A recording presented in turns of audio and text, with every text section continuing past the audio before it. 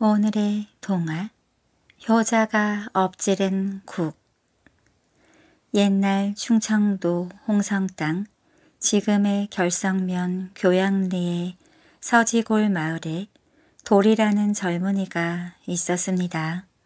도리는 어머니를 모시고 자랐어요. 도리의 어머니는 몹쓸 병을 앓고 있었습니다. 그래서 꼼짝없이 방 안에서 누워 지내야 했어요. 얘야 산에 나무를 하러 가니? 예 어머니 일찍 돌아올 테니 걱정하지 마세요. 어느 날 아침 도리는 밖으로 나가 빈 지게를 짊어졌습니다. 방 안에 누운 어머니는 마당을 내다보며 말했어요. 산속 깊이 들어가지 마라. 욕심을 내어 나무찜을 너무 많이 지고 오지 말고.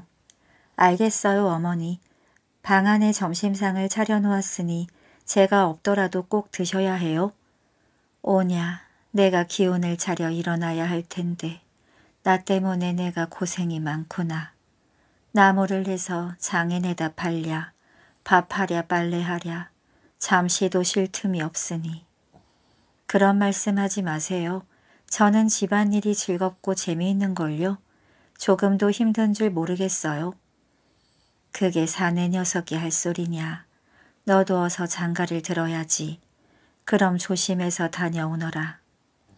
어머니는 살인문을 나서는 아들의 뒷모습을 바라보다가 긴 한숨을 내쉬었습니다. 녀석, 나를 안심시키느라 늘 웃는 낯으로 말하지만 얼마나 힘들고 고달플까. 아무리 열심히 일해도 입에 풀칠하기 어려운 형편이니 내가 병이나 품팔이 일이라도 해야 집안 살림이 나아질 텐데. 어머니는 늘 혼자 고생하는 아들이 안타깝고 애처로웠습니다. 그러나 도리는 언제나 힘든 내색을 하지 않고 온 정성을 다해 어머니를 섬겼지요. 자신은 굶을망정 어머니에게는 꼭 음식을 챙겨 드렸습니다. 그래서 마을 사람들은 입을 모아 이렇게 말했어요. 도리만큼 어머니를 잘 모시는 아들이 또 있을까? 그야말로 하늘이 낸 효자야. 물론이지 어머니가 드시고 싶다는 음식이 있으면 무슨 수를 쓰든지 구해다 주잖아. 도리는 우리 마을의 자랑거리야. 마을 사람들은 도리에 대해 칭찬을 아끼지 않았습니다. 집을 나선 도리는 산속으로 들어갔어요. 그리고 숲에 빈 지게를 내려놓고 도끼를 집어들었습니다. 내일이 장날이지 나무를 좀 넉넉히 해야겠다. 이렇게 생각한 도리는 잠시도 쉬지 않고 도끼로 나무를 찍었습니다. 도리가 나무를 잔뜩 짊어진 채 집으로 돌아오자 어머니는 눈이 휘둥그레졌어요. 아니 웬 나무를 그리 많이 했니? 욕심을 내지 말라고 했잖아. 내일이 장날이잖아요. 단골 손님들이 많아 나무를 다 팔 수 있을 거예요. 도리는 이마에 송골송골 맺힌 땀을 닦으며 빙그레 웃었습니다. 다음 날 아침 도리는 나무지게를 지고 장터로 갔습니다. 장터는 몹시 붐볐어요. 물건을 파는 사람들과 사는 사람들로 떠들썩했습니다. 나무찜 사세요. 나무찜 사세요. 도리는 장터 한 구석에 나무를 부려놓고 큰 소리로 외쳤습니다. 그러나 어찌 된 일인지 그날따라 나무찜이 잘 팔리지 않았습니다. 약속이나 한 듯 단골 손님들도 눈에 띄지 않았어요. 오후가 되자 도리는 얼굴빛이 어두워졌습니다. 야단났네. 오늘은 어째서 이렇게 장사가 안 되지? 도리는 나무찜을 바라보며 한숨을 쉬었어요. 그때 아주머니 한 분이 도리에게 다가왔습니다. 종각 여기 있었구먼. 우리도 나무찜이 필요하니 배달 좀 해줘. 도리가 쳐다보니 주막집 주모였습니다. 아주머니 나무찜은 얼마나 드릴까요? 여기 있는 것을 모두 살게. 정말요? 고맙습니다. 도리는 신바람이 나서 나무찜을 짊어진 채 주모 뒤를 따랐습니다. 도리가 주막집 마당에 나무찜을 부려놓자 주모가 말했어요. 총각 바쁘지 않으면 나를 좀 도와주지. 손님들이 어찌나 많은지 정신을 차릴 수가 없어. 그러지요. 무슨 일부터 할까요? 부엌에 가서 아궁이에 불을 지펴줘. 도리는 주모가 시키는 대로 부엌에 가서 아궁이 앞에 쭈그려 앉았습니다. 그리고는 나무 장작을 아궁이 속에 넣어 불을 지폈지요. 아궁이 위에 솥에서는 국이 끓고 있었습니다. 주모는 부엌을 뻔질나게 드나들며 솥뚜껑을 열어 뚝배기에 국을 퍼담았어요. 그때마다 구수한 국냄새가 물씬 풍겼습니다. 도리는 오전 내내 나무를 팔지 못해 점심을 굶었습니다. 그래서 몹시 시장했지요. 굽냄새를 맡을 때마다 침이 꼴깍 넘어갔습니다. 그러나 지금은 주막일로 바쁘기 때문에 늦은 점심을 얻어먹을 수도 없었어요. 저녁 때가 가까워지자 그 많던 손님들이 썰물처럼 빠져나갔습니다. 그리고 찾아오는 손님의 발길도 뜸해졌지요. 그제야 주모가 갑자기 생각난 듯 도리에게 물었습니다. 참 총각 시장하지 밥을 차려줄까? 도리는 대답 대신 고개를 끄덕였습니다. 주모가 소뚜껑을 열어 젖히더니 뚝배기에 국을 퍼담았어요. 총각 수고했어. 얼른 먹어. 주모는 개다리 소반에 국과 밥 그리고 반찬 몇 가지를 올려놓고 식사를 권했습니다. 그러나 도리는 상에 차려진 음식을 물끄러미 바라보기만 했어요. 문득 어머니 얼굴이 떠올랐기 때문입니다. 어머니께서 이 음식을 드시면 얼마나 좋을까? 아주 맛있게 잡수시겠지? 이런 생각을 하니 쉽게 소절을 들 수가 없었습니다. 총각 뭐 하고 있어 먹지를 않고 오라 나뭇값 때문에 그러는구나 걱정하지 마. 주모는 엽전 꾸러미를 꺼내어 도리에게 내밀었습니다. 장날이 되면 잊지 말고 우리 주막에 나무찜을 갖다 줘. 모두 내가 살 테니까. 그 대신 오늘처럼 내 일을 도와줘야 해. 알겠어요 아주머니. 자 그럼 어서 먹어. 국이 다 식겠네. 그러나 도리는 여전히 소절을 들지 않았습니다. 도대체 왜 그래? 이런 눈물까지 흘리네. 주모는 눈이 동그래졌습니다. 그제야 도리가 속마음을 털어놓았어요. 죄송해요 아주머니. 집에 계신 어머니를 생각하니 차마 이 국밥을 먹을 수가 없어요. 역시 총각은 효자야. 하늘이는 효자라고 하더니 과연 소문 그대로야. 걱정하지 말고 먹어. 어머니가 드실 국밥은 내가 따로 챙겨줄게. 집에 갈 때 가져가라고. 아주머니 고맙습니다. 도리는 주모에게 인사를 하고 밥을 국에 말아 깨끗하게 비웠습니다. 주모는 주막을 나서는 도리에게 밥과 국그릇을 내밀었어요. 도리는 그 밥과 국그릇을 받아들고 빠른 걸음으로 집을 향해 갔습니다. 어머니 저 왔어요. 맛 좋은 국밥을 가져왔는데 맛 좀 보세요. 웬 국밥이냐. 너도 같이 먹자꾸나. 아니에요. 어머니 저는 주막에서 먹었어요. 주막집 아주머니가 나무찜도 사주시고 국밥도 주셨어요. 어머니의 목까지. 참 고마운 분이로구나. 어머니는 도리가 데워온 국을 밥에 말아 맛있게 먹었습니다. 도리는 그 모습을 흐뭇하게 바라보았어요. 그 뒤부터 도리는 장날이 돌아오면 나무찜을 잔뜩 짊어진 채 주막을 찾아갔습니다. 그러면 주모는 그 나무찜을 모두 사주고 도리 어머니가 드실 국밥을 꼭 챙겨주었습니다. 도리는 주모가 아주 고마웠어요. 그래서 장날에는 주막에서 저녁 늦게까지 일하며 주모를 도왔습니다. 그러던 어느 겨울날이었어요. 장날이 되어 도리가 나무지게를 지고 주막으로 가려는데 어머니가 힘없는 목소리로 말했습니다. 얘야 요즘은 너무 기운이 없구나. 아무래도 게장국을 먹어야 할 것 같다. 그래야 기운을 차릴 수 있을 거야.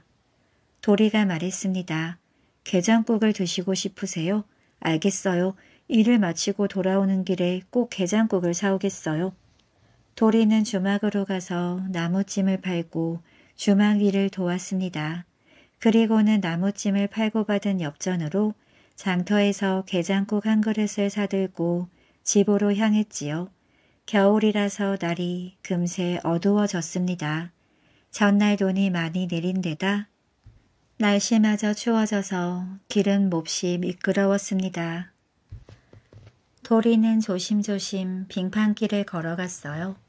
마을로 가려면 고개를 넘어야 했습니다.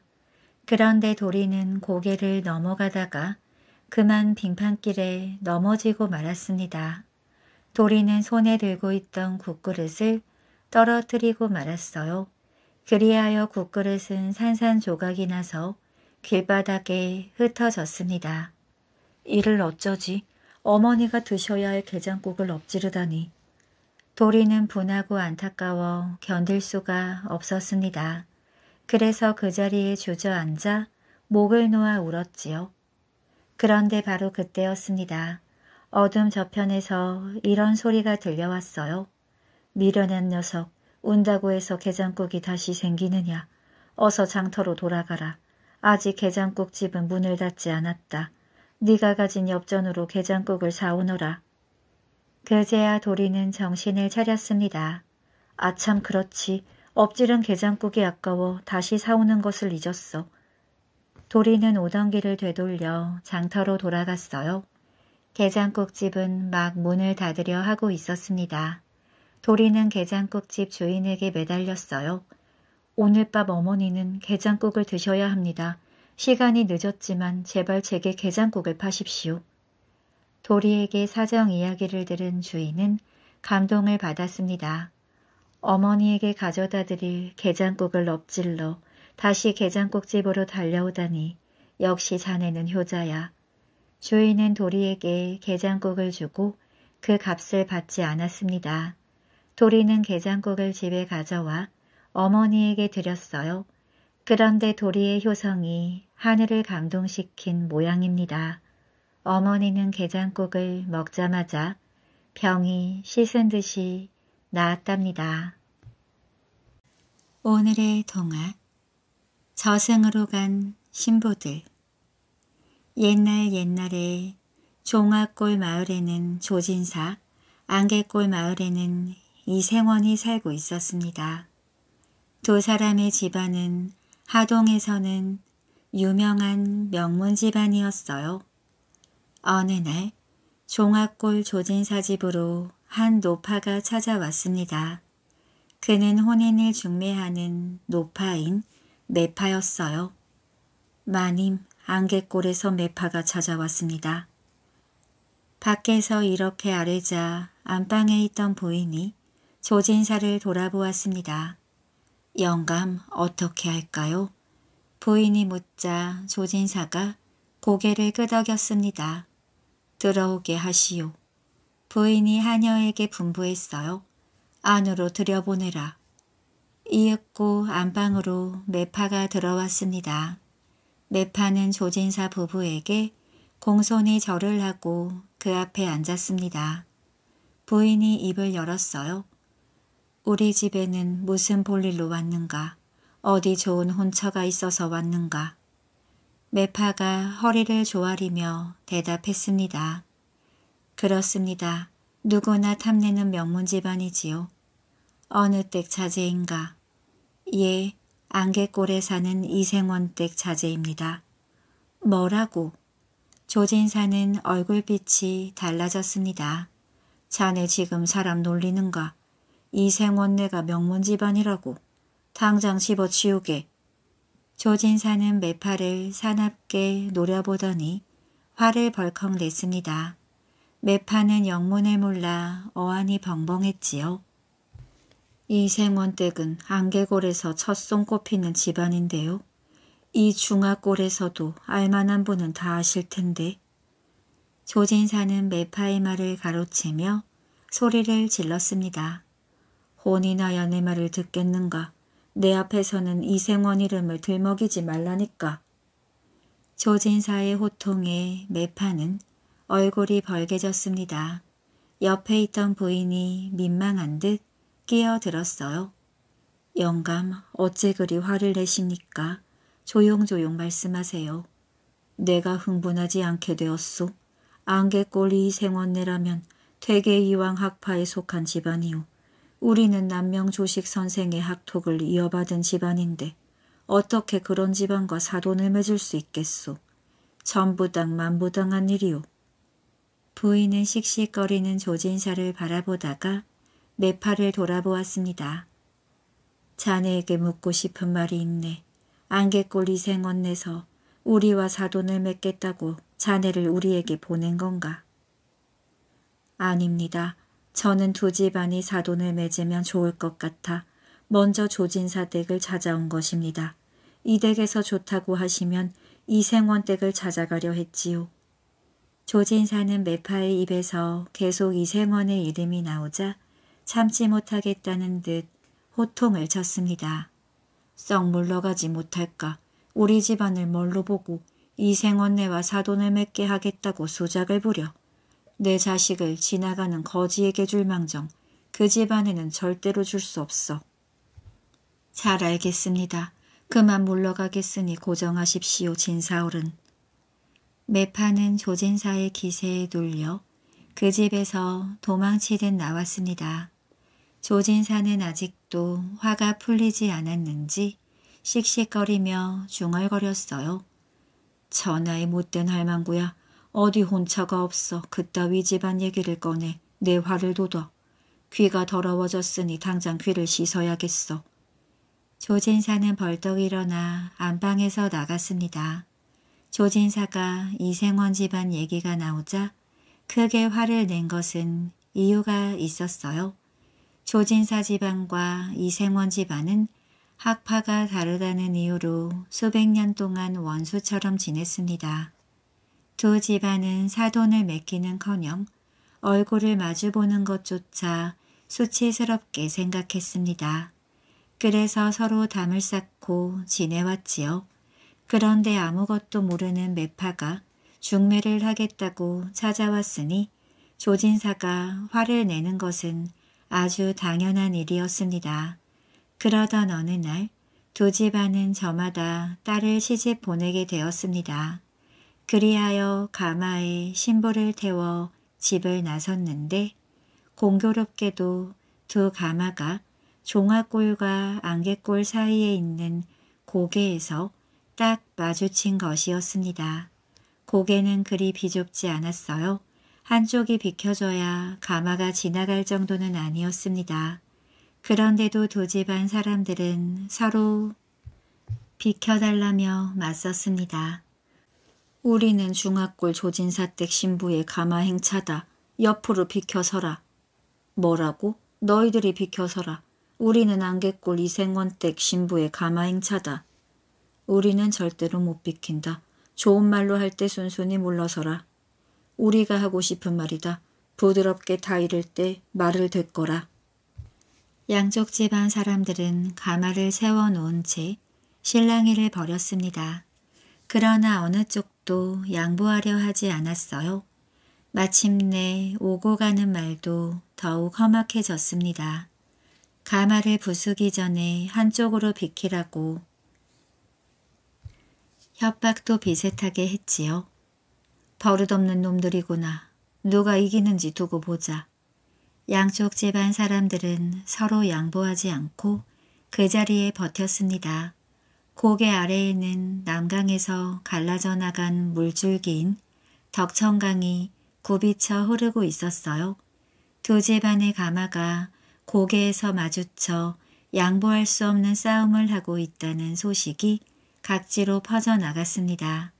그리하여 두 집안 사람들뿐 아니라 신랑 집안 사람들 그리고 퇴계 이왕 학파 및 남명 조식 학파의 선비들까지 이곳으로 몰려들었습니다. 이들은 고개에 초막을 치고 팽팽히 맞섰어요. 어느새 사흘이 지났습니다. 그러나 이들은 끝장을 보겠다는 듯 어느 쪽도 협상을 하려 하지 않았습니다. 이렇게 되자 괴로운 것은 가마 속에 갇혀있는 신부들이었습니다. 신부들은 눈물을 흘리며 자신의 신세를 한탄했어요. 끝까지 가문과 학파가 뭐 그리 대단하기에 이런 쓸모없는 싸움을 벌이는 것이냐. 이런 집안에 태어난 것이 원망스럽기만 하구나. 양쪽 집안 사람들은 시집가는 신부에 대해서는 관심이 없었습니다. 자기들 가문과 학파의 명예가 더 중요할 따름이었지요. 이 보질없는 싸움을 끝내는 방법은 오직 하나뿐이다. 저쪽 집안 신부와 내가 함께 죽는 것이다. 이렇게 생각한 신부는 몸종을 시켜 다른 쪽 신부에게 다음과 같은 내용의 편지를 보냈습니다. 여자로 태어난 죄가 이렇게 큰 줄은 몰랐습니다. 우리 때문에 시작된 싸움이니 우리가 죽으면 이 싸움도 끝날 것입니다. 저는 커다란 돌덩이를 치마에 싸고 덕천강으로 몸을 던지려 합니다. 당신도 내 뜻이 정당하다고 본다면 나의 뒤를 따르시기 바랍니다. 그것이 양쪽 가문과 학파의 명예를 지키는 일이 될 것이기에. 쪽지를 받은 신부는 다른 쪽 신부에게 몸종을 보내 자신도 그의 뜻을 따르겠다고 전했습니다. 잠시 뒤 양쪽 집안 신부들은 몸종을 시켜 커다란 돌덩이를 가져오게 했어요. 그리고는 돌덩이를 치마에 싸서 안고 거의 동시에 덕천강으로 몸을 던졌습니다. 신부들이 강물로 뛰어들었다. 고개 아래는 낭떠러지였고 강물은 매우 깊었습니다. 결국 꽃다운 신부들은 저승으로 홀레길을 떠나고 말았어요. 그 뒤로 경상도 하동 땅 옥종면 종합골과 안개골 사이에 있는 이 고개는 가마고개라고 불리게 되었습니다. 오늘의 동화 어머니와 스님 조선시대 중기 전라도 부안 땅에 청년 암으로 가는 길에 벽송암이라는 작은 절이 있었습니다. 이 절에서는 벽송이라는 대사가 돌을 닦고 있었어요. 벽송암에서 내륙 쪽으로 험한 고개가 하나 솟아있는데 이 고개가 바로 옷 갈아입는 고개입니다. 그 고개 밑에 있는 봉덕 부락 앞에 언덕에는 무덤 하나가 있는데 이 무덤에 묻혀 있는 것은 벽송대사의 어머니라고 합니다. 벽송대사와 어머니 사이에는 어느 전설이 전해지고 있는데요. 서쪽 하늘에 노을이 곱게 물든 어느 날 저녁이었습니다. 고갯마루에 있는 바위 위에 스님이 앉아 있었어요. 그가 바로 벽송이었습니다. 그때 스님 하고 소리치며 할머니가 고개 아래에서 올라왔습니다. 벽송은 바위에서 일어나 외쳤지요. 어머니 어서 오십시오. 오래 기다렸지. 오늘은 꽤 늦으셨네요. 무슨 일이 있으셨습니까? 무슨 일이 있기는 이제는 늙고 기운이 빠져 걷기 힘들어서 그래. 몇 걸음만 걸어도 숨이 차거든. 쉬엄쉬엄 오시느라 일이 늦으셨군요. 어머니, 앞으로는 오지 마세요. 걷기도 힘드신데. 어미가 아들을 보러 오는 건데 뭘 그러나 오지 말라는 소리는 제발 하지 마. 어머니는 못난 아들을 위해 옷을 지어 오시지만 이제는 그러실 필요가 없습니다. 제가 입을 옷은 여기에도 많이 있거든요. 모르는 소리, 어미가 아들에게 해 입히는 옷과 그런 옷들이 어찌 같을 수가 있나? 어머니는 자기 마음을 몰라주는 아들이 원망스러운 듯 울상이 되어 벽송을 올려다 보았습니다. 그러자 벽송은 애써 어머니의 시선을 피하며 내뱉듯이 말했어요. 어머니, 차라리 제가 이곳을 떠나겠습니다. 뭐라고? 어머니는 깜짝 놀라 벽송의 얼굴을 보았습니다. 갑자기 떠나겠다니 그게 무슨 말이냐? 이 늙은 어미 때문에 그러냐? 아닙니다. 제가 어머니를 싫어할 까닭이 없지요. 저는 다만 출가한 몸으로 세속의 일을 잊지 못해 어머니와 이렇게 지내는 것이 도리가 아니라는 생각이 들어서입니다. 내 뜻은 잘 알겠다만 너는 오래전에 이 어미와 약속하지 않았느냐. 내가 살아있는 동안은 이곳에 머물러 있겠다고. 물론 어머니와 그렇게 약속했었지요. 하지만 저는 그동안 무척 괴로웠습니다. 부처님은 이 세상 일이 한 조각 뜬구름에 지나지 않다고 말씀하셨는데 저는 속세를 떠났다고 하면서도 세상 일에 얼매여 번뇌하며 살고 있으니까요. 이래서야 어디 부처님의 제자라 할 수 있겠습니까? 따라서 속세의 인연을 끊고 여기를 떠날까 합니다. 고갯마루에서는 바다가 보였습니다. 아들은 굳은 표정으로 바다를 내려다보고 있었어요. 말없이 아들을 바라보는 어머니의 마음은 찢어질 듯이 아팠습니다. 아들이 스님이 된 뒤에도 질긴 속세의 인연을 이어왔지만 이제부터는 그 인연을 끊고 영원히 헤어져야 할 순간이 다가왔기 때문입니다. 두 사람의 머릿속에는 문득 과거의 일들이 주마등처럼 스쳐 지나갔습니다. 벽송의 원래 이름은 순성이었어요. 그는 송씨 집안에 첩으로 들어간 어머니의 아들로 전라도 부안 땅에서 태어났습니다. 순성은 첩의 아들이라는 이유로 아버지를 아버지라 부를 수 없었습니다. 서자라는 신분 때문에 받아야 하는 차별과 구박은 극심했지요.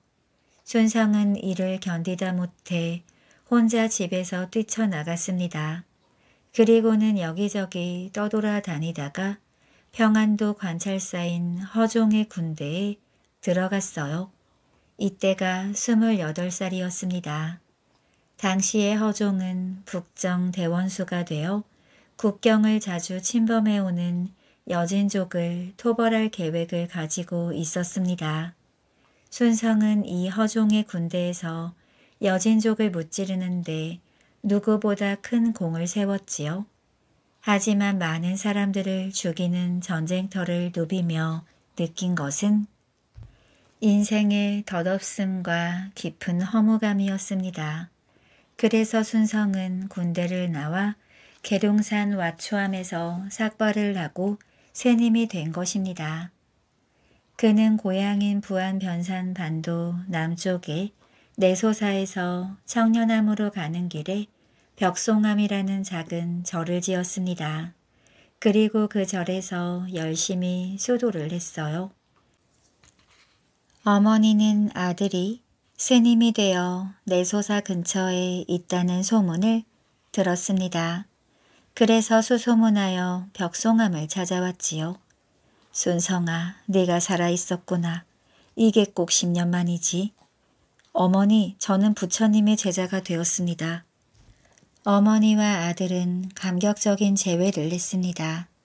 이때부터 어머니는 매월 초하루와 보름이면 아들을 만나기 위해 벽송암에서 내륙 쪽으로 10리쯤 떨어진 고개로 찾아왔습니다. 비가 오나 눈이 오나 단 한 번도 걸은 적이 없었어요. 어머니는 아들을 만나러 올 때마다 아들의 법의를 지어 가져왔습니다. 이 또한 한 번도 걸은 적이 없었어요. 그러는 동안 수십 년이 흘렀습니다. 어머니는 할머니가 되었고 아들은 법력이 높은 대선사가 되었어요. 하지만 벽송은 어머니와의 세속적인 인연 때문에 깊은 번뇌에 사로잡혀 있었습니다. 이윽고 벽송이 회상에서 깨어나 입을 열었습니다. 어머니, 오늘은 큰절에서 주무시고 가십시오. 오냐 그렇게 하마. 고갯마루에서 수십 년을 만났지만 단 하루도 자고 간 적은 없었습니다. 그러나 이날만은 아들이 어머니에게 자고 가기를 청했고 어머니도 이 청을 받아들였습니다. 두 사람은 천천히 내 소사를 향해 걸음을 옮겼어요. 큰 절에서는 저녁 예보를 날리는 쇠복 소리가 울려 퍼졌습니다. 쇠복 소리를 들으며 아들의 뒤를 따르던 어머니는 갑자기 아들의 손을 잡으며 말했습니다. 순성아, 내일 이곳을 떠나거라. 그게 무슨 말씀이십니까? 내가 여기를 떠나겠다고 결심하지 않았느냐. 아닙니다. 어머니가 살아 계시는 동안은 여기에 머물러 있겠습니다. 그럴 필요 없다. 너는 내일 이곳을 떠날 수 있을 거야. 어머니는 수수께끼 같은 말을 했습니다. 아들은 그 말의 뜻을 헤아릴 수 없었어요. 순성아 부탁이 있다. 절에 도착하면 나를 위해 법회를 열어다오. 알겠습니다. 잠시 뒤 두 사람은 내 소사에 닿았습니다. 벽송은 법당에서 어머니를 위한 법회를 열었어요. 법당 안에는 스님들과 어머니가 앉아 있었습니다. 가부좌를 하고 법상에 앉은 벽송은 어머니를 바라보다가 설법을 시작했습니다. 세상 모든 것은 허망하고 부질없다. 인생은 인연을 따라 움직이는 물결 같고 한 조각 뜬구름과 같다. 그런데 그때 벽송은 어머니가 자기한테 했던 수수께끼 같은 말을 머릿속에 떠올렸습니다. 그럴 필요 없다. 너는 내일 이곳을 떠날 수 있을 거야. 그 순간 성광처럼 스치는 생각이 있었습니다. 어머니는 이승에서 나와의 인연이 끝났음을 깨달으신 거야. 바로 그때 벽송은 어머니의 모습을 보았습니다. 어머니는 이미 숨을 거두어 이 세상 사람이 아니었어요. 벽송은 사흘 밤낮 어머니의 명복을 비는 법회를 열었습니다. 그리고는 어머니의 시신을 어머니와 수십 년 동안 만났던 고개에 묻었어요. 이때부터 사람들은 어머니가 벽송대사가 갈아입을 옷을 가져왔던 고개라 해서 환의제라고 불렀답니다. 오늘의 동화 20년 동안 물을 준 산삼 고려가 망하고 조선이 세워졌을 때 일입니다. 괴나리 보찜을 맨 젊은 선비가 아내와 함께 금강산 골짜기로 들어서고 있었어요. 깊은 산 속에는 맑은 새소리와 계곡의 물소리가 들려왔습니다. 밝은 대낮인데도 사람의 그림자는 찾아볼 수가 없었지요. 선비는 거친 숨을 몰아쉬며 말했습니다. 여기서 그만 쉬었다 갑시다. 그러죠. 부부는 커다란 바위에 엉덩이를 걸치고 앉았습니다. 그리고는 손수건을 꺼내 땀을 닦았어요. 말로만 듣던 금강산에 와보니 경치가 정말 빼어나네요. 당연하지 금강산은 전하의 명산이라 하지 않소. 세상과 인연을 끊고 살 바에는 이렇게 경치 좋고 사람의 발길이 닿지 않는 곳이 좋지. 정말 그래요. 부부가 나란히 앉아 이야기를 주고받을 때였습니다. 골짜기 위쪽에서 하얀 수염을 길게 기른 백발의 노인이 걸어 내려왔어요. 젊은 부부는 깜짝 놀라 노인을 쳐다보았습니다. 이런 깊은 산 속에 저런 노인이 사시다니 아무래도 보통 사람이 아닌 것 같소. 그러네요. 그때 노인이 부부에게 다가와 말을 걸었습니다. 당신들은 어디에서 온 누구시오? 무슨 일로 여기까지 찾아왔소? 선비는 노인에게 머리를 조아리며 대답했습니다.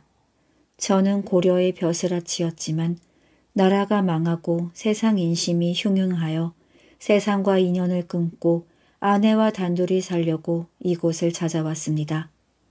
노인은 못마땅한 듯 얼굴을 찡그렸습니다. 너무 깊이 들어왔소. 여기는 내가 사는 집의 울 아니요.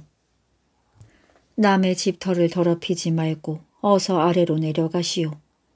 노인은 이 말을 남기고 골짜기 위로 걸어 올라갔습니다. 아내는 노인의 뒷모습을 바라보다가 입을 열었어요. 누구지요? 혹시 금강산 신령님이 아닐까요? 말도 안 되는 소리. 신령님이라면 연기를 피우며 바람처럼 나타났다가 온데간데 없이 사라져야지. 저기 버젓이 걸어 올라가고 있지 않소? 그렇긴 하지만 저는 저 노인이 범상치 않아 보이는걸요. 이곳을 자기가 사는 집에 울 아니라 말하는 것도 그렇고 정신 나간 노인이지 뭘 그래. 이 깊은 산 속에 무슨 울이 있다고. 그래도 저는 불안해요. 노인의 말을 듣지 않으면 좋지 않은 일이 일어날 것 같아요. 여보, 산 아래로 내려가요. 아내가 어두운 표정으로 이렇게 말하자 선비는 화를 냈습니다. 당신 자꾸 마음 약한 소리를 할 거요? 산을 내려가고 싶으면 혼자 내려가시오. 나는 여기에 집을 짓고 살 거요. 아내는 마음이 내키지 않았지만 선비의 뜻을 따를 수밖에 없었습니다. 부부는 그곳에 여장을 풀고 오막살이 집 한 채를 지었어요. 그리고는 그 집에서 단둘이 오순도순 행복하게 살았습니다. 하루는 가까운 산으로 나무를 뜯으러 갔던 아내가 집으로 헐레벌떡 뛰어왔습니다. 여보, 이리 좀 와보세요. 갑자기 왜 그래? 이상한 동물이라도 나타났소? 그게 아니라 산속 바위 틈에 이상하게 생긴 꽃이 피어 있어요. 그래? 선비는 아내를 따라 산속으로 들어갔습니다. 그리고 바위 틈에 피어 있는 꽃을 보았어요. 꽃빛이 빨갛군. 난생 처음 보는 꽃인걸. 당신이 봐도 이상하게 생겼죠? 이게 무슨 꽃일까요? 글쎄 잘 모르겠는데. 선비는 코를 킁킁거리며 꽃의 냄새를 맡아보았습니다. 가만히 있자. 이것이 혹시 산삼이 아닐까? 예? 꿈을 잘 꾸어도 캐기 힘들다는 그 귀한 약초 말인가요? 그렇소. 천하 제일의 영약이라고 할 수 있지. 선비의 말에 아내는 좋아서 어쩔 줄을 몰라 했습니다. 어머나 그 귀한 보물을 내가 발견하다니. 여보 이러고 있을 때가 아니에요. 빨리 산삼을 캡시다. 아내의 재촉을 받고서야 선비는 꽃의 뿌리를 캐기 시작했어요. 손으로 흙을 파내자 뿌리가 드러났습니다. 선비 부부는 뿌리를 보고 거의 동시에 소리쳤습니다. 이럴 수가. 산삼 뿌리에서 피가 나오네. 두 사람은 너무 놀라 벌린 입을 다물지 못했어요. 보통 산삼이 아닌가 봐. 귀한 산삼을 건드려 다치게 했으니 이를 어쩌지? 우리가 잘못했어요. 산삼을 캐는 게 아닌데. 선비 부부는 하얗게 질려 보들보들 떨고 있었습니다. 바로 그때 골짜기 위쪽에서 백발의 노인이 걸어 내려왔습니다. 지난번에 만났던 그 노인이었어요. 노인은 노여움이 가득한 얼굴로 선비 부부를 노려보았습니다. 너희들은 왜 남의 산삼에 함부로 손을 대느냐? 노인은 성난 표정으로 호통을 쳤습니다. 그러자 선비가 조심스럽게 물었어요. 이 산삼이 어르신 것입니까? 노인이 대답했습니다. 그렇다. 나는 나의 산에서 이 산삼을 천년 동안 길러왔다. 그런데 너희들이 함부로 손을 대어 산삼을 죽게 만들었다. 너희들이 얼마나 큰 죄를 지었는지 알겠느냐? 노인은 녹이 띈 목소리로 덧붙여 말했습니다. 한번 피를 흘린 산삼은 구할 길이 없다. 죽어버렸으니 나무 토막과 다름없지. 용서해 주십시오. 저희들이 잘못했습니다. 어르신의 귀한 보물을 몰라보고 몹쓸 죄를 지었습니다. 선비 부부는 노인 앞에 엎드려 용서를 빌었습니다. 노인은 두 사람을 물끄러미 내려다 보다가 입을 열었어요. 너희들이 모르고 한 일이니 큰 벌은 내리지 않겠다. 그 대신 너희들이 할 일이 있다. 오늘부터 20년 동안 이 고개 밑에 있는 샘터에서 물을 떠와 산산 뿌리에 뿌려주어라. 단 하루도 이를 어겨서는 안 된다. 알겠느냐? 예, 시키는 대로 하겠습니다. 선비 부부는 노인 앞에서 머리를 조아렸습니다. 그런데 머리를 들어보니 앞에 있던 노인이 어느새 사라지고 없었어요. 금강산 신령님이 틀림없어요. 바람처럼 사라지셨잖아요. 그렇군. 어쨌든 그분과 약속했으니 20년 동안 하루도 쉬지 않고 물을 길어다 산산뿌리에 뿌려줍시다. 당연히 그래야지요. 선비 부부는 그날부터 고개를 오르내리며 샘터에서 물을 길어 산산뿌리에 뿌려주었습니다. 비가 오나 눈이 오나 춥거나 덥거나 단 하루도 쉬지 않고 그 일을 했습니다. 그러는 사이 젊은 부부는 어느덧 50을 바라보는 나이가 되었어요. 그러나 두 사람에겐 그때까지 자식이 없었습니다. 자식을 간절히 원하고 있지만 어찌 된 일인지 태기가 없었어요. 드디어 산산보리에 물을 준 지 꼭 20년이 되었습니다. 그날 아침 마지막으로 물을 길어 산산보리에 뿌려준 선비 부부는 깜짝 놀랐습니다. 여보, 물을 주자마자 꽃이 피어났어요. 과연 그렇군. 죽었던 산삼이 살아났어. 우리가 20년 만에 산삼을 살렸어. 선비 부부는 너무 기뻐 얼싸 안았습니다. 그때 백발 노인이 불쑥 나타났어요. 기쁨이 가득한 얼굴이었습니다. 고생 많았다. 너희들이 온 정성을 다해 산삼을 다시 살렸구나. 이 산삼은 이제 너희들 것이다. 나중에 씨를 받아 골짜기 곳곳에 뿌리도록 하라. 선비 부부는 노인이 시키는 대로 했습니다. 그리하여 금강산에는 많은 산삼이 자라게 되었답니다. 또 선비 부부에게도 기쁜 일이 있었어요. 뒤늦게 아기를 가져 열 달 뒤에 귀한 아들을 낳은 것입니다. 오늘의 동화 도둑을 기다린 아내 어떤 도둑이 부잣집을 털기 위해 훌쩍 담을 넘어 들어갔습니다. 그러나 주인에게 곧 들키고 말았지요. 도둑은 걸음아 나 살려라 하며 재빠르게 달아났습니다.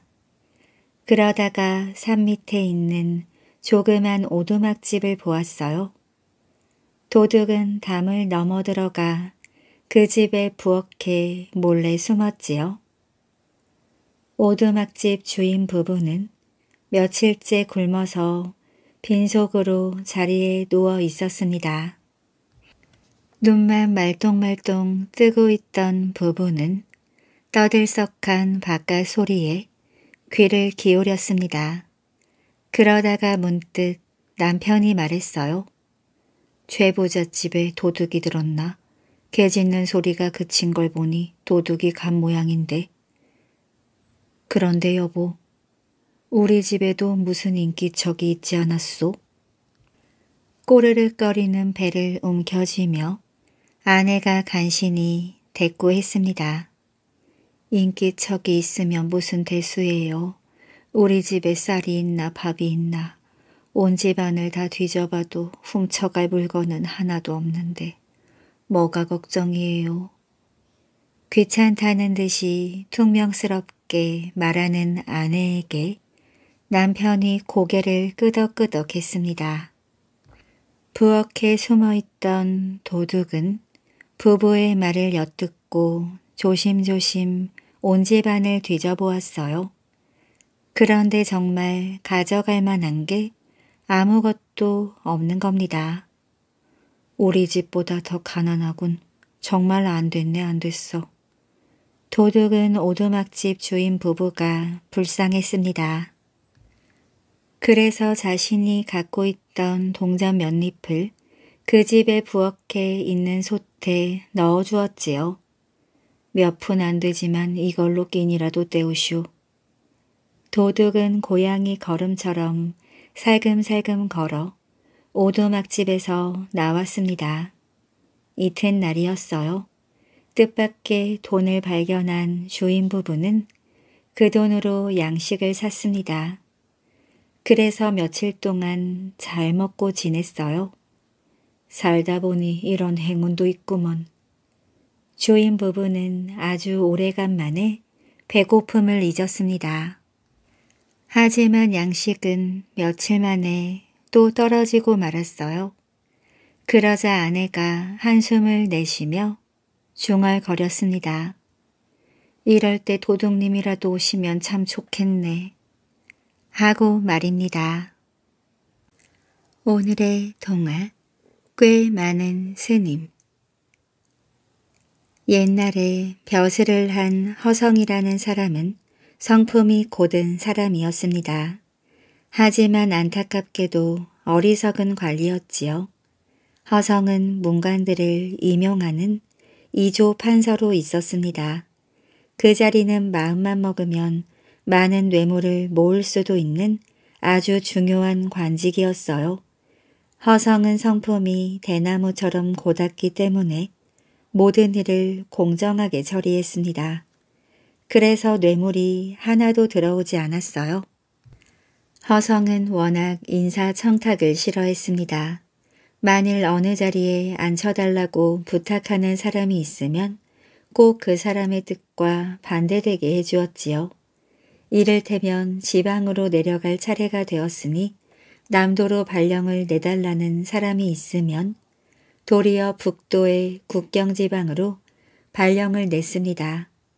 허성의 이와 같은 성품은 소문이 쫙 퍼져서 알 사람은 다 알고 있었어요. 그때 흥덕사라는 절에 일운이라는 스님이 있었습니다. 그 스님은 꾀가 여간 많은 게 아니었지요. 지혜롭지 못하면 그 꾀에 홀딱 속아 넘어가기 십상이었습니다. 이론 스님은 꼭 영흥의 단속사에 가서 살고 싶었어요. 하지만 허성에게 그곳으로 보내달라고 했다가는 어디로 쫓겨갈지 모를 일이었지요. 그래서 꾀를 썼습니다. 어디로 가고 싶으냐? 허성이 묻자 이룬 스님은 이렇게 대답했습니다. 황해도의 영명사는 경치가 그만이라 꼭 그곳으로 가서 살고 싶습니다. 만일 영흥의 단속사 같은 곳으로 가게 된다면 소승은 아마 미쳐서 죽을 것입니다.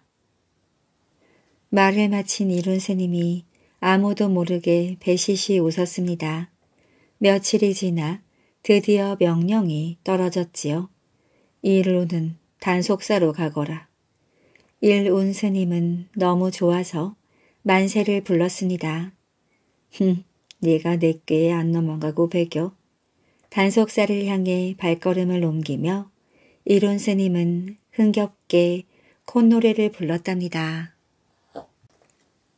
오늘의 동화 심술장이 중신아비 옛날 옛날에 어느 마을에 심보가 고약한 중신아비가 있었습니다.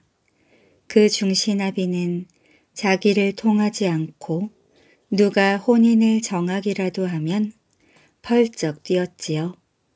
그래서 무슨 수를 써서라도 그 혼사를 꼭 깨버려야 직성이 풀렸습니다.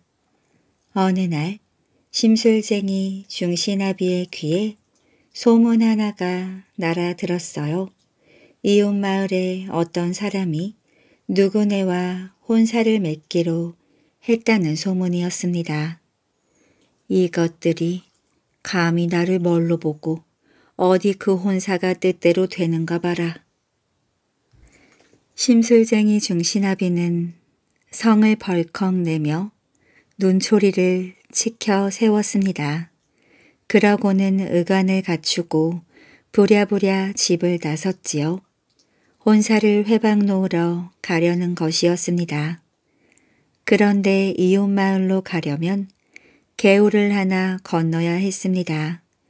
마침 장마철이라 개울에는 물이 불어 건널 수가 없었지요. 비는 왜 이렇게 많이 오는 거야? 그리고 이곳에 개울은 왜 있는 거지?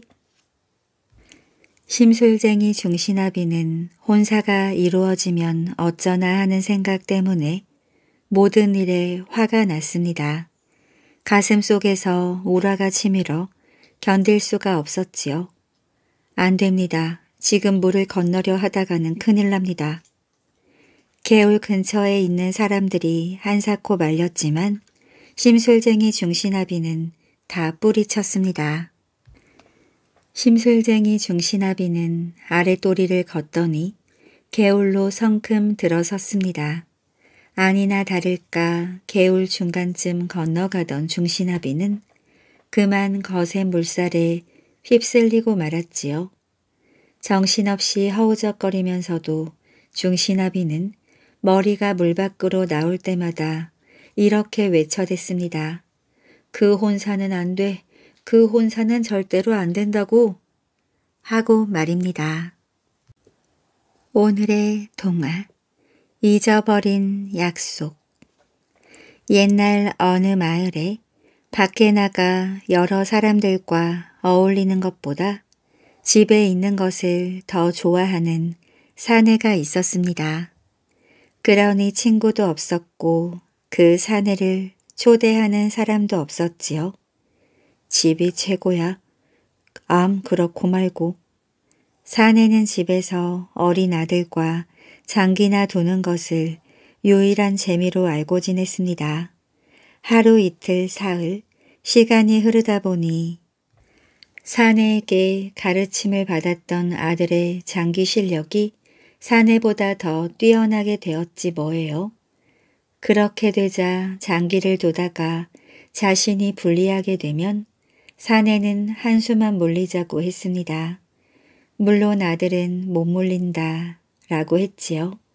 그래서 두 사람은 티격태격 서로 다투곤 했습니다. 그러던 어느 날이었어요. 그날도 장기를 두다가 사내는 아들과 옥신각신 다투었지요. 그러다가 끝내 약이 오른 사내가 어린 아들의 머리를 한 대 쥐어받고 말았습니다. 아들은 울면서 어머니의 품으로 달려갔어요. 이제 두 번 다시 아버지하고 장기를 두나 보세요. 어머니의 품에서 아들은 굳게 다짐했습니다. 그러나 사내는 하루를 못 참고 아들을 다시 불렀습니다. 장기 한 판만 두자. 아들은 코웃음을 쳤어요. 또 때리려고요? 아들의 물음에 사내는 손사래를 치며 대답했습니다. 안 때릴게. 그러니 한 판만 두자. 그러나 아들은 머리를 흔들었습니다. 늘 안 때린다고 하고 때려놓고서 나 장기 안 둘래요. 이번에는 절대 안 때린다. 맹세하마. 그래도 아들은 사내의 말을 듣지 않았습니다. 싫어요. 금방 물리자고 할 텐데요 뭐. 안 물릴 거야. 사내는 아들의 마음을 돌리기 위해 애썼지만 아들은 꿈쩍도 하지 않았습니다. 그래도 싫어요. 어제도 안 물린다 하시고선 물려달랬잖아요. 아무리 으르고 달래도 아들이 말을 듣지 않자 사내는 생각다 못해 아내에게 도움을 청했습니다. 이놈이 끝내 나하고는 장기를 안 두려고 하는구먼. 사내는 풀이 죽어 한숨을 푹 내쉬었지요. 그런 사내를 보자 아내는 갑자기 마음이 흔들렸습니다. 남편이 오죽 심심하면 어린 아들에게 저렇게 사정까지 할까. 그래서 아내는 아들을 깨웠습니다. 아버지가 때리지도 않고 물리지도 않는다고 하시잖니. 그러니 장기 한판 두려무나.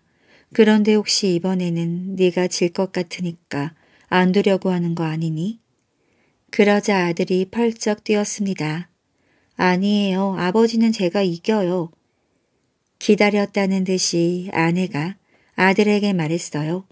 그럼 한 번 더 봐라. 네가 이기나 못 이기나 내가 잘 지켜볼 테니까. 아들은 하는 수 없다고 생각했습니다.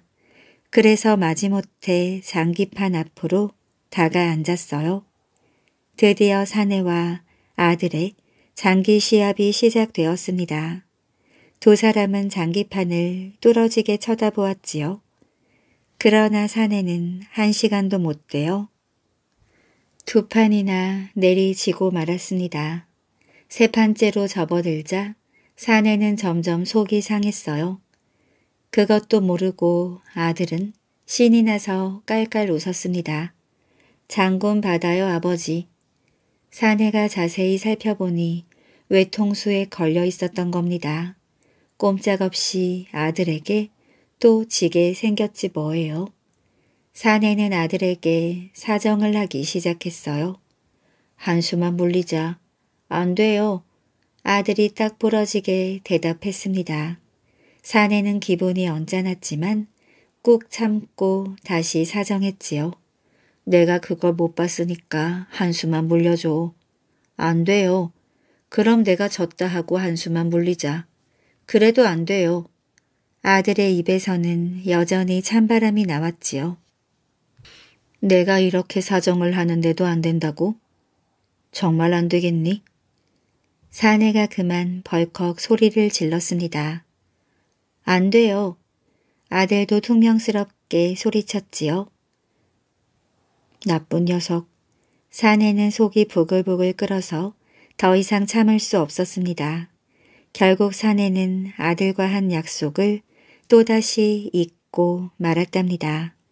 그래서 주먹으로 아들의 머리를 소리가 나도록 쿵 박아 주었답니다. 오늘의 동화 부엉이 소리 내는 사람 옛날에 한 가난한 사람이 나라에서 빌려주는 곡식을 많이 얻어갔습니다. 그러나 그 사람은 빌린 곡식을 갚을 길이 없어서 발만 동동 구르고 있었지요. 어느 날 관청에서 곡식을 갚으라는 독촉이 심해지자 그 가난한 사람은 마을 이장을 찾아갔어요. 원님이 새로 부임한 후부터 곡식을 갚으라는 독촉이 더욱 심하니 어떻게 하면 좋겠습니까? 원님이 몹시 엄하시다던데 큰일이군. 가난한 사람이 간절한 눈빛으로 마을 이장에게 매달렸습니다. 무슨 방법이 없을까요? 좋은 수가 있지. 좋은 수라는 말 한마디에 가난한 사람은 귀가 번쩍 뜨였지요. 어떻게 말입니까? 옛날부터 관청 뒷산에서 부엉이가 울면 원님이 바뀐다고 하지 않던가. 그런 말이 있지요. 마을 이장은 가난한 사람의 귀에 대고 속삭였습니다.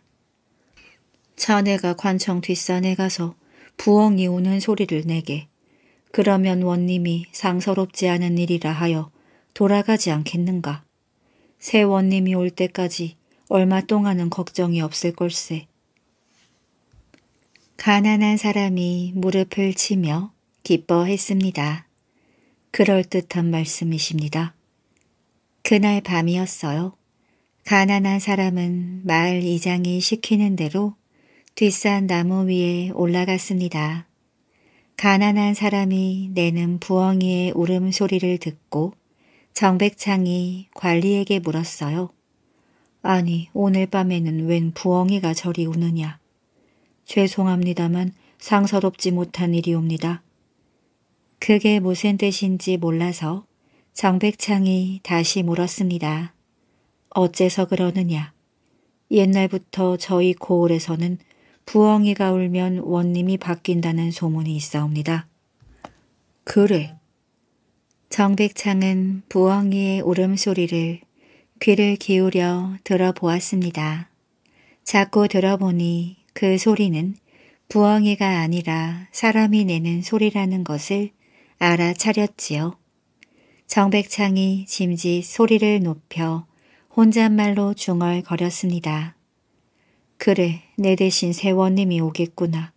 돌아갈 준비를 서둘러야겠구나. 가난한 사람은 원님이 감쪽같이 속았다고 믿었습니다. 그래서 이튿날도 나무에 올라가 부엉이 소리를 냈지요. 그러자 원님은 하인을 불러 말했습니다. 가서 활을 가져오너라. 내가 아직 돌아갈 때도 아닌데 저 부엉이 때문에 그래서야 되겠느냐. 부엉이를 차라리 내 손으로 잡아야겠다. 가난한 사람은 덜컥 겁이 났어요. 잘못하다가는 활에 맞아 죽을지도 모르니까요. 그래도 가난한 사람은 쉬지 않고 부엉이 소리를 냈습니다. 원님은 활을 가지고 나무 밑으로 가서 큰 소리로 외쳤어요. 부엉아 죽고 싶지 않다면 내려와 너의 정체를 밝혀라. 잠시 뒤 가난한 사람은 나무에서 엉금엉금 내려와 무릎을 꿇었지요. 죽을 죄를 지었습니다. 내가 부엉이더냐. 가난한 사람은 몸을 바들바들 떨며 애원했습니다. 한 번만 용서해 주십시오. 원님은 가난한 사람이 가여웠어요. 하지만 잘못을 그냥 덮고 넘어갈 수는 없었습니다. 그래, 내 죄는 용서해 주겠다. 그러나 고을 사람들이 그 아까운 부엉이 소리를 듣지 못한다면 섭섭하지 않겠느냐. 내일 하루 종일 관청들에서 부엉이 소리를 내도록 하여라. 빌린 곡식 때문에 엉뚱한 행동을 했던 가난한 사람은 다음 날 아침부터 저녁까지 부엉부엉하고 울어댔습니다. 그 바람에 사람들의 웃음거리가 되고 말았답니다. 오늘도 이야기 재미있게 잘 들으셨나요? 뛰는 놈 위에 나는 놈이 있다라는 속담 많이 들어보셨지요? 앞에서 들려드린 꽤 많은 스님 이야기는 짧지만 전하고자 하는 내용이 정확하게 표현된 재미있는 이야기입니다. 뛰는 놈 위에 나는 놈 있다라는 속담처럼 대나무같이 고든 성품을 가진 허성은 청탁을 하는 사람의 반대로 하여 청탁을 들어주지 않았는데요. 하지만 그런 허성도 스님의 꾀는 당해내지 못했습니다. 허성이 스님의 꾀에 너무 쉽게 넘어가서 아쉬웠지만 스님이 쓴 꾀가 너무나 재미있는 이야기였습니다. 오늘도 지혜를 주는 재미있는 이야기와 함께 편안한 잠자리 되시기를 바랍니다.